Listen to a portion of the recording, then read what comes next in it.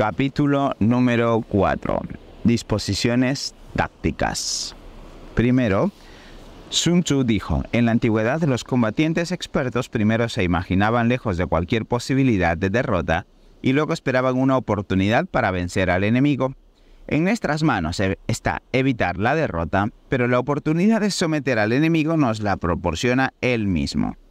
Por eso el combatiente experto es capaz de evitar la derrota, pero nunca sabe con antelación si podrá dominar a su contrincante. De ahí el dicho, se puede saber conquistar pero ser incapaz de efectuar la conquista. Para evitar la derrota es necesario aplicar tácticas defensivas. Para derrotar al enemigo se debe asumir la ofensiva. Mantenerse a la defensiva refleja fuerza insuficiente, atacar con exceso, atacar un exceso de poder. Repito, mantenerse a la defensiva refleja fuerza insuficiente, atacar un exceso de poder. El general hábil en la defensa se esconde en los resquicios más secretos de la tierra, y el que es diestro en el ataque deslumbra desde las alturas del cielo. Por eso contamos con la posibilidad de protegernos y alcanzar una victoria completa simultáneamente. Percibir la victoria cuando resulta evidente para todo el pueblo no indica excelencia, ni tampoco indica excelencia combatir y conquistar al enemigo y que todo el imperio exclame, bien hecho. No es fuerte quien levanta un cabello, ni tiene buena vista el que distingue el sol y la luna, ni goza de buen oído quien detecta el sonido de un trueno. En la antigüedad se consideraba experto aquel combatiente que no solo derrotaba a su oponente, sino que lo vencía con facilidad. Por esa razón, las victorias del combatiente experto no le aportan reputación de sabio ni de valiente.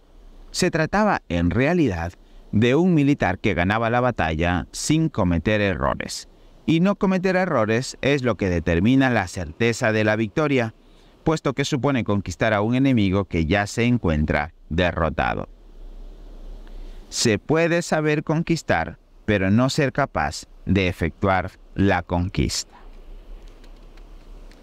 En consecuencia, el combatiente experto es aquel que adopta una posición que hace imposible su derrota y no pierde la oportunidad de someter al enemigo.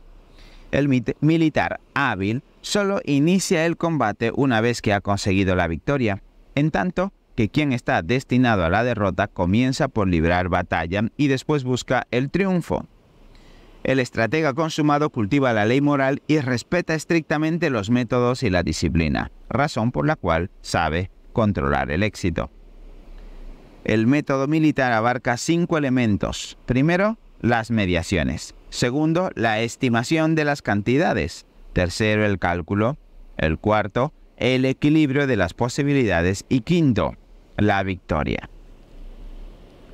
Las mediciones se practican sobre el terreno de batalla y en ellas se basa la estimación de las cantidades. El cálculo a su vez obedece a la estimación de las cantidades el equilibrio de las posibilidades depende del cálculo y la victoria se supedita al equilibrio de las posibilidades. Un ejército victorioso frente a otro que sufre una derrota aplastante es comparable a una montaña de arena frente a un solo grano. La avalancha de una fuerza conquistadora es semejante a la explosión de aguas acumuladas en un abismo de mil brasas de profundidad.